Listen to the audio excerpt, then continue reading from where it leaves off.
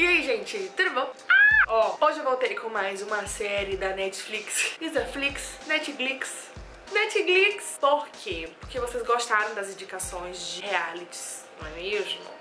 E aí, eu resolvi trazer pra vocês cinco séries que eu mais gostei de assistir na minha vida na Netflix. Que a gente tá sempre conversando sobre isso lá no Instagram. Inclusive aqui as minhas redes sociais pra você me seguir onde você quiser, minha filha. Não vou lhe obrigar a seguir na stream, mas pelo menos uma. Primeira coisa que eu preciso falar, primeiro é um desabafo antes, porque tem uma série que eu amo mu muito e que a Netflix apagou. Fui procurar agora pra olhar lá o nome pra escrever certo. Apagou, não existe mais. Fico chateada com a Netflix quando faz isso. A Netflix, ela, ela apaga as coisas. Por que você apaga, querida?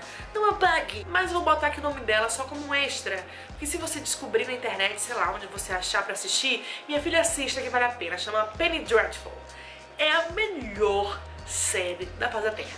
Pra você que gosta de negócio de Drácula, Frankenstein, de histórias de contos de fada, gente, é muito, desculpa a palavra, foda. Essa série é uma das melhores séries da minha vida. Eu tô muito triste que eu acabei de perceber que ela não tá mais na Netflix. Chateada. Vamos para o nosso top 5 de séries que eu gostei muito de assistir.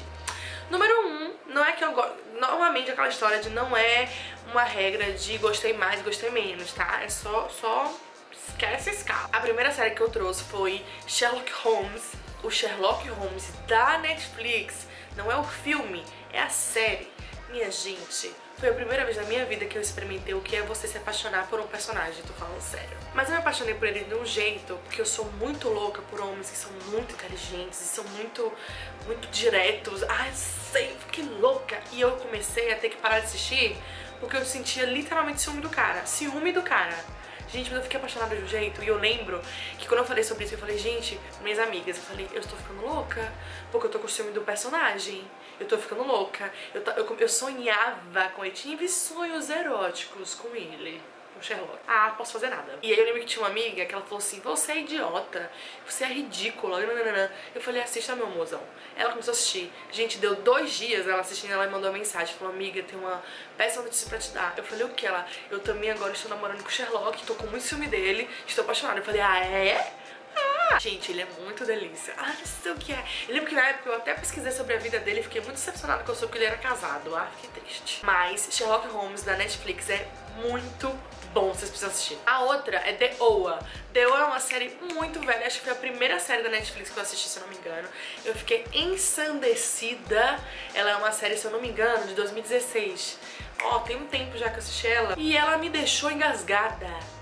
Porque é uma série muito legal, tipo, tem uma temática de espiritualidade muito maravilhosa sobre dois mundos, sobre é, mundo espiritual, sobre desdobramento, muito legal a série, mas não tinha continuação.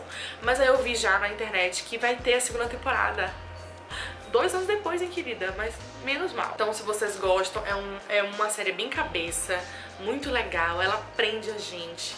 Ai, e é emocionante, é linda a série, é muito legal.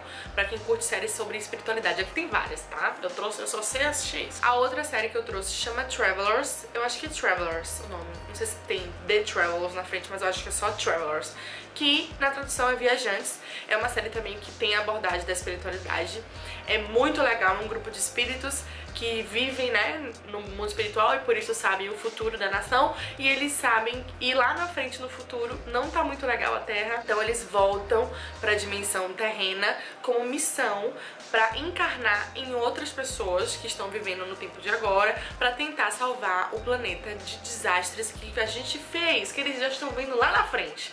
Gente, é muito interessante a série, muito legal. Eu gosto, tipo, eu achei o máximo. Toda vez que alguém vai morrer, Tipo, naturalmente, toda vez que alguém vai morrer, eles sabem e aí eles acoplam na pessoa, entendeu? Então meio que a pessoa não morre, mas ali não é mais o espírito daquela pessoa. Eles assumem vidas de outras pessoas. Ah, é o máximo. Eu adoro. A outra é Black Mirror, que eu acho que muita gente conhece, já deve ter assistido.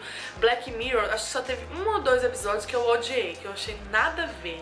Inclusive, você que já assistiu, aquele do negócio parece uma barata, um robô barata, sei lá, que merda aquele, aquele episódio. Entendi nada, horrível. Mas no geral é uma série muito interessante pra gente assistir, principalmente a gente que é muito ligado à modernidade, à tecnologia, contemporaneidade, porque ela aborda justamente de um jeito meio que exagerado, mas que eu acho que é super possível da gente chegar lá. O que, que a tecnologia vai fazer com a gente? Do tanto que a gente é apegado e dependente da tecnologia, o que, que ela vai fazer com a gente? Gente, é super problemática a série. É, faz você pensar tipo, fora da casinha, você fica, caralho, velho, isso é muito possível de acontecer, sabe? É uma parada meio doida, assim.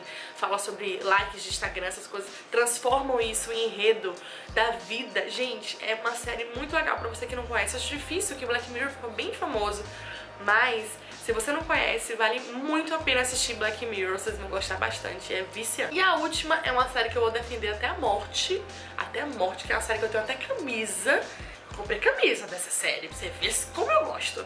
Que é Stranger Things, que também tem uma pegada espiritual também, tem uma temática assim. Stranger Things é a história de uma menina chamada Eleven, que é uma menina mesmo, é uma criança. Que ela tem uma mediunidade, eles não falam mediunidade, mas a gente vê que é essa a questão.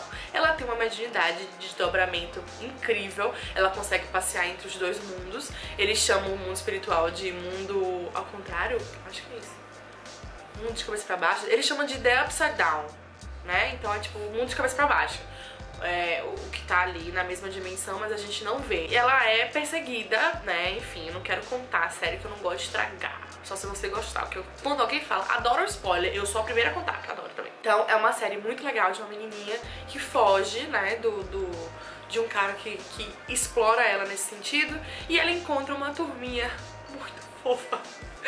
Inclusive, Dustin, I love you. Kisses from Brazil.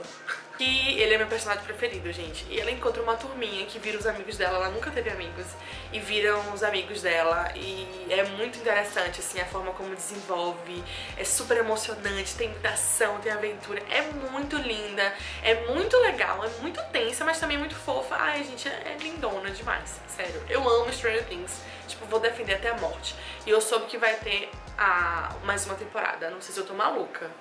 Espero não estar. Então é isso, gente. Esse foi meu top 5 de hoje de séries da Netflix que eu gosto muito de assistir, que eu vou defender até a morte, que eu gostaria que tivesse 50 temporadas, eu assistiria todas, tá? Escreva aqui embaixo se você conhece alguma série que você ama de paixão pra poder me indicar aí, não sei, de repente, eu não conheço, né? Gosto muito de Netflix, sou bem viciada, tá? Me segue nas redes sociais, se inscreve aqui se você for novo, dá like, comenta, compartilha, faz tudo aquilo que a gente gosta, aquelas coisas, tá? E é isso. Um beijo, fica até o próximo vídeo. Tchau!